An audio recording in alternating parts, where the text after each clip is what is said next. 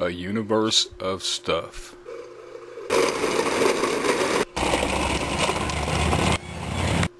The movement of stuff.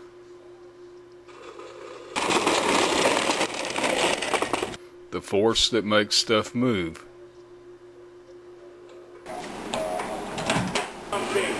Oh, it's hot. The heat of stuff.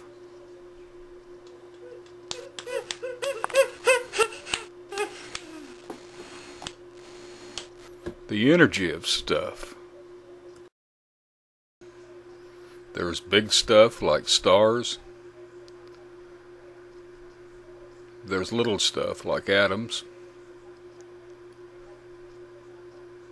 There's space, the stuff in between stuff. It is the universe according to stuff, or as Democritus, a dead Greek, said several thousand years ago, all is atoms and the void. These views of stuff go by different names, such as the classical view or the Newtonian view. Einstein called it the mechanical view. Until the late 19th century, scientists tried to explain everything according to the mechanical view as if the universe was a giant machine. But they had problems with electricity, magnetism, and light, obviously different kinds of stuff.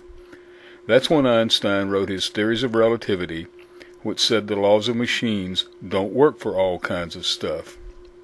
That's the subject of this series, how we went from ordinary stuff to weird stuff.